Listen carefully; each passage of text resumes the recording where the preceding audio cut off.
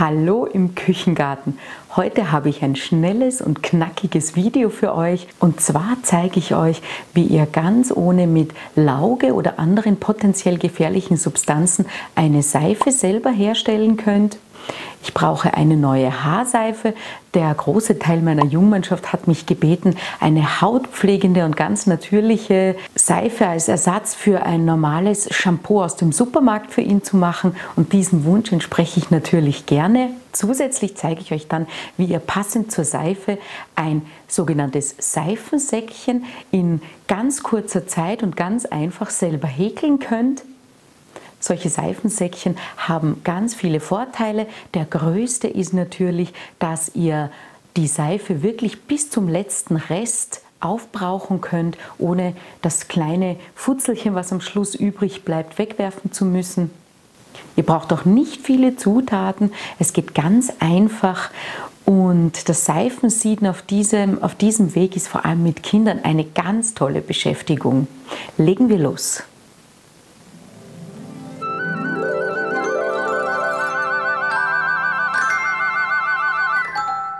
Um die Seife herzustellen, habe ich hier zuerst einmal die Seifenbasis.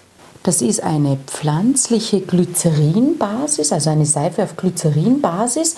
Die kriegt man dann entweder ganz Natur oder ich habe noch mit zusätzlich Shea-Butter, weil die so hautpflegende Eigenschaften besitzt, habe ich mich dafür entschieden.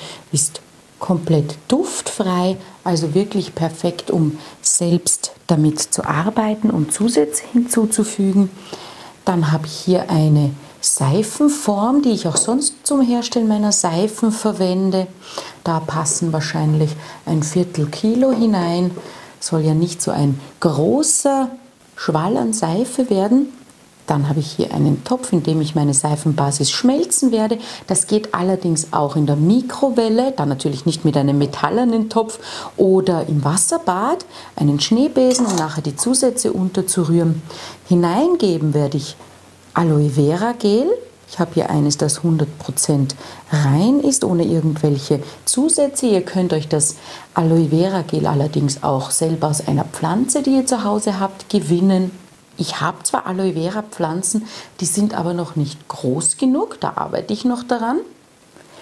Und als Duft- und Pflegesubstanz habe ich ätherisches Rosmarinöl. Das regt nämlich den Haarwuchs an. Das ist ja bei einer Haarseife nicht gerade schlecht.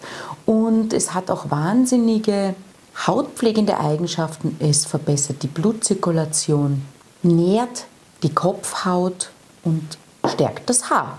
So, mehr braucht man schon gar nicht. Ich starte damit, dass ich mir die passende Menge an Seifenbasis von meinem Block hier herunterschneide. Das soll ja so viel sein, dass es nachher hier in meine Seifenform passt. Mal gut ein Drittel, so Pi mal Daumen.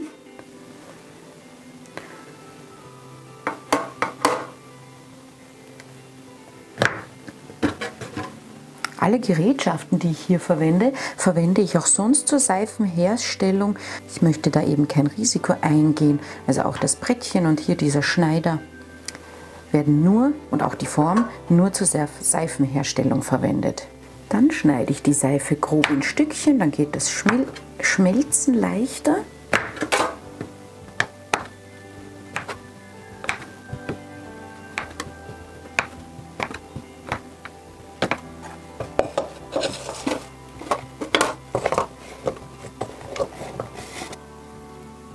Dann kommt der Topf auf den Herd und wird bei mittlerer Hitze erhitzt, bis die Seife flüssig ist.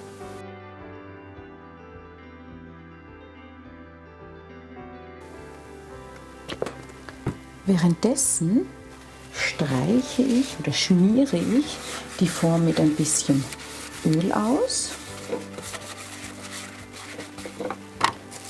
und lege dann eine Folie hinein, damit ich nachher die Seife gut aus der Form lösen kann. Und durch das Öl hält die Folie gut am Rand. Das ist einfach ganz normale Frischhaltefolie. Vergesst nicht rechtzeitig die Hitze zurückzudrehen oder den Topf vom Herd zu nehmen. Die Seife soll ja auf keinen Fall kochen, sie soll nur komplett geschmolzen sein, sodass keine Stückchen mehr drinnen sind.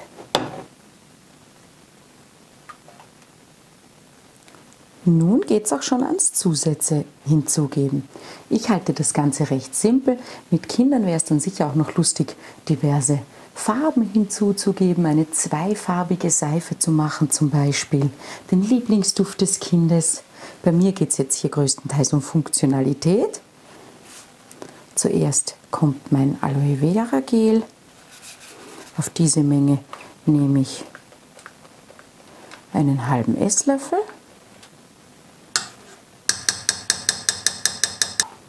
Und als Duft das Rosmarinöl. Auf diese Menge von ca. 250 bis 300 Gramm nehme ich 8 bis 10 Tropfen.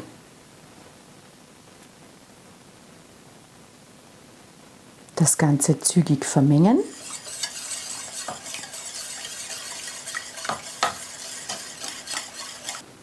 Hier geht es auch darum, schnell zu arbeiten, weil die Seife recht bald wieder hart werden will. Und danach schütte ich die Mischung in meine Form.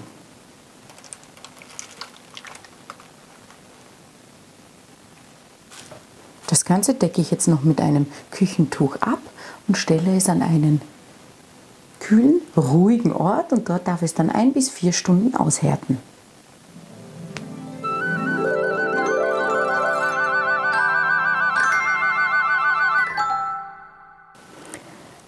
Seifensäckchen selbst zu häkeln ist wirklich total einfach. Dazu braucht ihr auch nicht viel. Das eine ist ein Garn.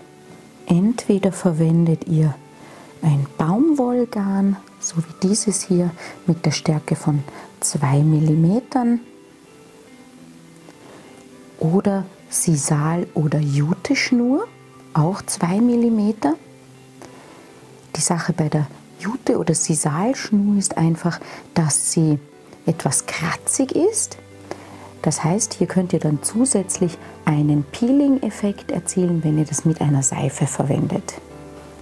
Dann braucht ihr eine Häkelnadel, grundsätzlich etwas größer als die Schnur. Wenn die Schnur hier 2 mm dick ist, habe ich hier eine 3 mm Häkelnadel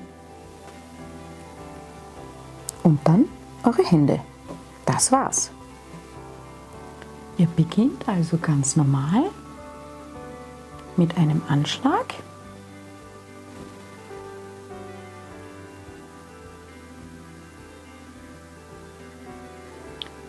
Und dann häkelt ihr 18 Luftmaschen oder je nachdem, wenn eure Seife breiter ist, die Breite dieser Luftmaschenkette soll der Breite eurer Seife entsprechen.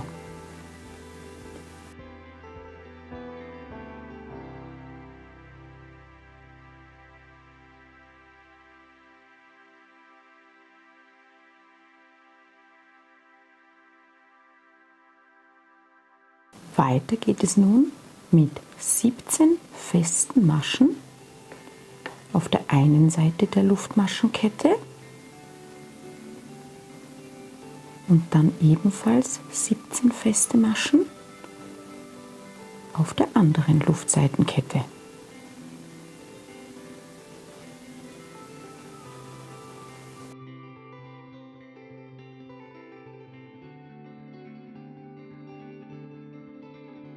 Das Ganze schließt ihr dann in der Ecke mit einer Kettenmasche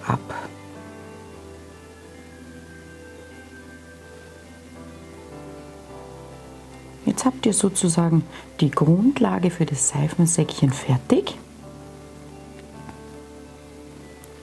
Jetzt kommt der lustige Part oder besser gesagt der entspannende Teil. Ihr häkelt jetzt fortlaufend rundum mit Stäbchen so lange, bis das Säckchen die passende Höhe erreicht hat.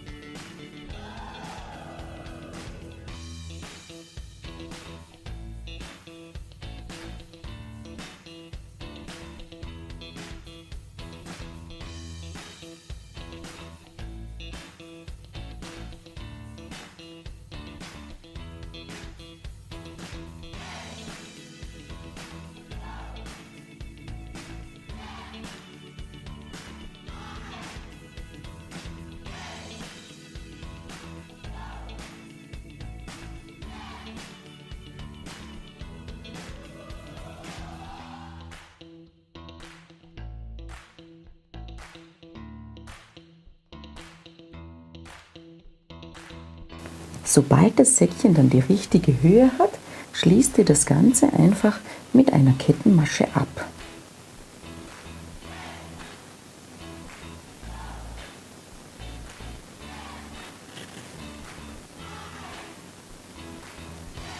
Den Faden kann man ganz einfach vernähen.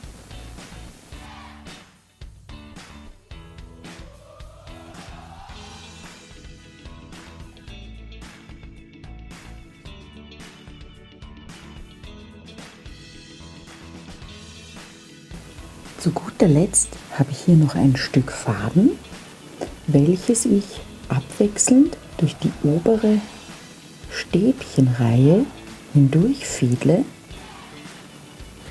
So kann ich nämlich das Täschchen anschließend verschließen und aufhängen.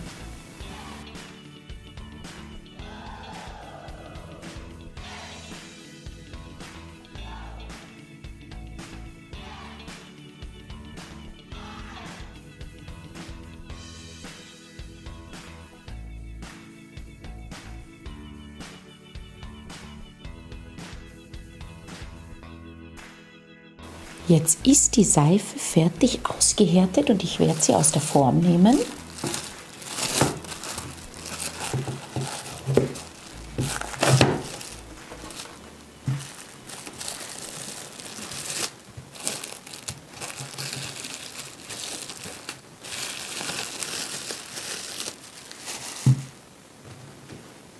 Hätte ruhig noch ein bisschen mehr Grundmasse sein können, aber das macht nichts. Ich schneide sie einfach etwas dicker.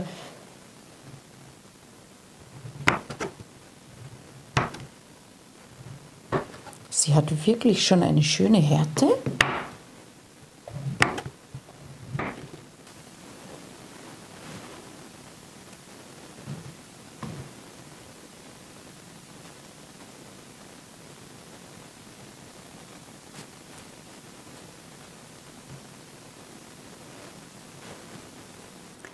Schön, dass ihr heute auch wieder mit dabei wart, hier auf meinem Kanal im Küchengarten.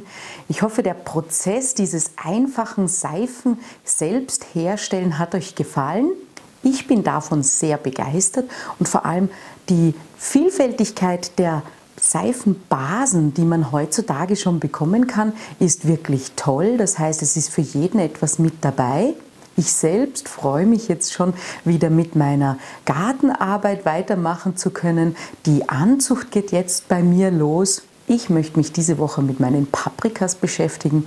Letztes Jahr hatte ich nämlich etwas Probleme mit der Keimrate. Die Paprikas und Chilis, die lassen sich da ja ab und zu recht bitten. Und ich habe mir da aus dem Internet echt tolle Ideen rausgesucht, wie man das etwas verbessern kann. Und das möchte ich euch, meine Versuche dazu möchte ich euch im nächsten Video zeigen. Bis dahin wünsche ich euch eine ganz schöne Zeit. Gebt diesem Video doch gerne einen Daumen rauf und ich freue mich drauf, wenn wir uns auch nächste Woche wiedersehen hier bei mir im Küchengarten. Bis dann!